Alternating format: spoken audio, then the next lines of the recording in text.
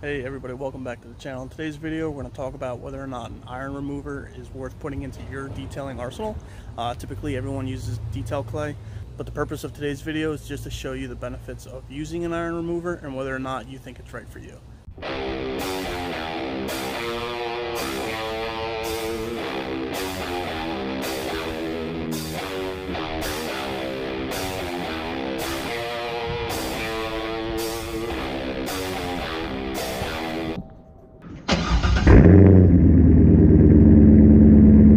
If you're new to the channel, this is my 2016 Ram 1500. Typically, most of my videos are about my 2004 C5 Corvette.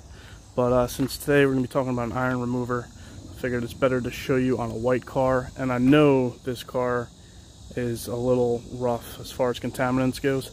And we're going to be using Adam's uh, iron remover on here. Now, the car has been uh, washed. Now for this video, I'm going to use detail clay on half the hood and just to show you um, if there are any contaminants that are left over from the clay bar that iron remover can get. And then obviously the rest of the car rest of the truck I'll do with iron remover just to show you again it does detail clay do a good enough job. And do you even need that? Or should you use both now in order to tell if there's any contaminants on the hood, what we're going to use, we're just going to use the old Ziploc bag test.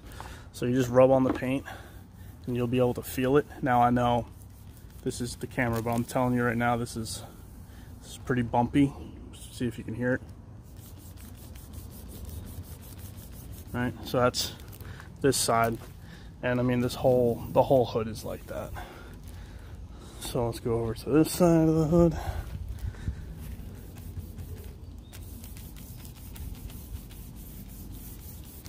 And it's all the same. So that's how I know that the contamination on this car is pretty bad.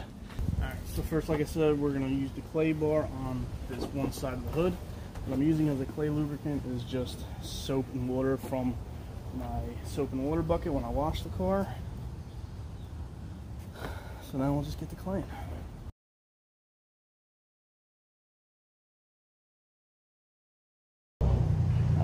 That's what the clay bar looked like. Definitely picked up some stuff. I can hear it grabbing and eventually it does slide pretty nicely. So clay bar is definitely picking up some of that contamination.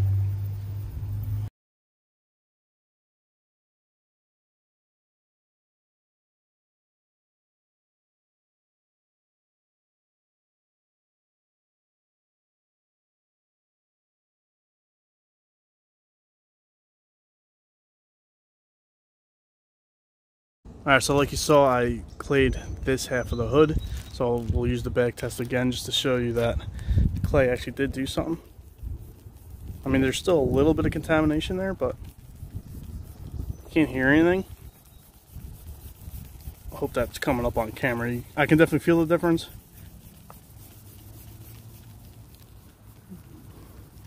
See no sound there. And that's where it sounds like sandpaper. So clay bar definitely helped, but let's see um, if the iron remover removes any more than what the clay bar removed. Now, like I mentioned earlier, I am using Adam's iron remover, but all iron removers are pretty much the same, whether you're using this one, Iron X, or something even cheaper.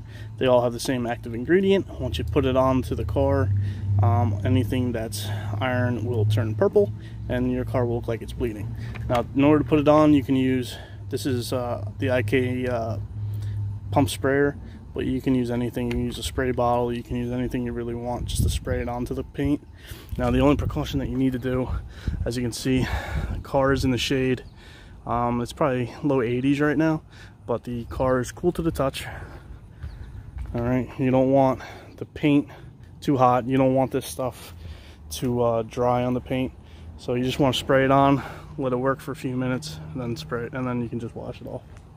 All right, now one other thing before I start spraying this stuff, you, you do want the car to be relatively dry. You don't want it to be soaking wet.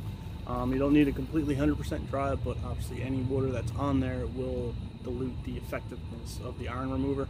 So you just want it mostly dry, but it doesn't have to be completely dry.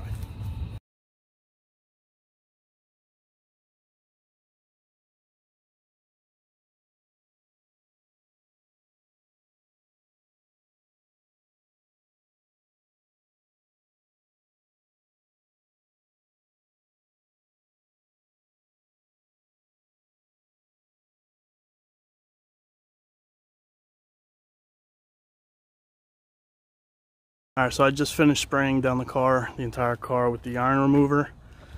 As you can see, this is the left side, right? That I did in clay bar. See how it's all bleeding pretty purple? No, not terribly, but it is. And then the, here on the right side, the side that I did use the clay bar on, eh, there's a little bit here and there that is bleeding purple.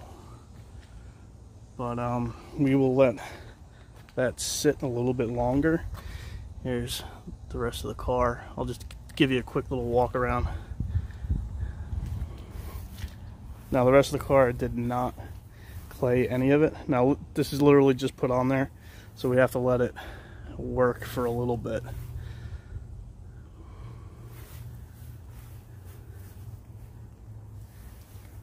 Definitely see a lot of purple specks some better than others. Obviously this is, that's pretty good. But you can definitely see all the purple specks everywhere. The rear tailgate, it's usually rear of the car is worse than the front of the car. And you can see all the iron that was on there.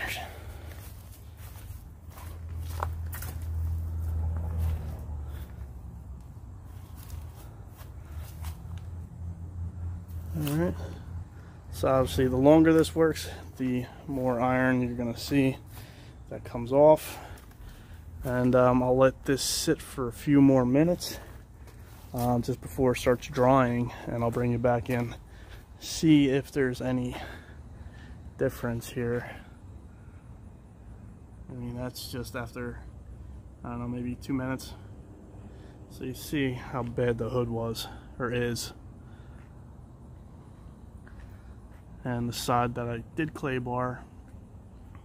Clay bar looked like it actually did take a lot off. I mean there's a few spots here and there that it didn't do but that could just be I mean I did clay bar in a rush so.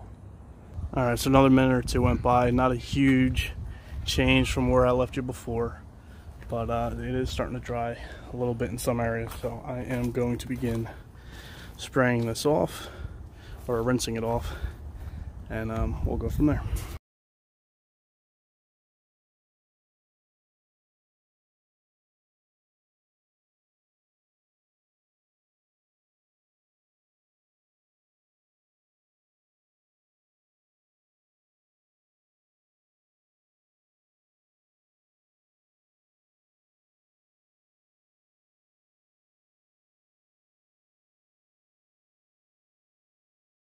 Alright, so here we are after the car has dried. We will again do the baggy test.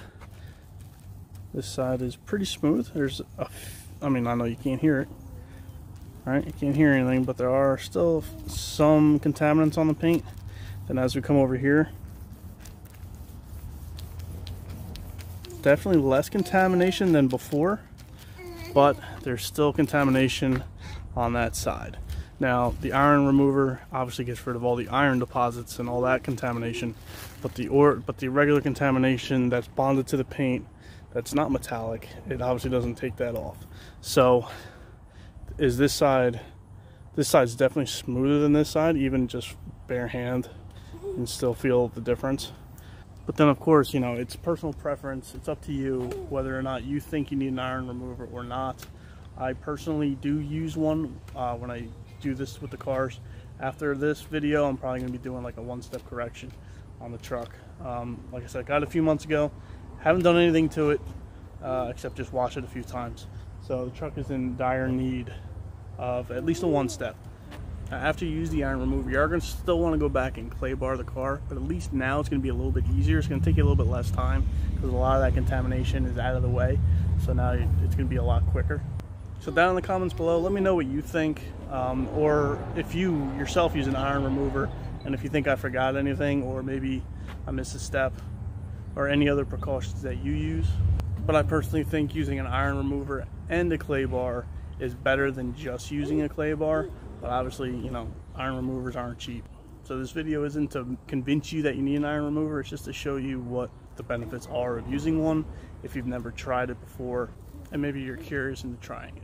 So if you like this video, please give me a thumbs up. And if you haven't done so already, please subscribe. Thank you and have a great day.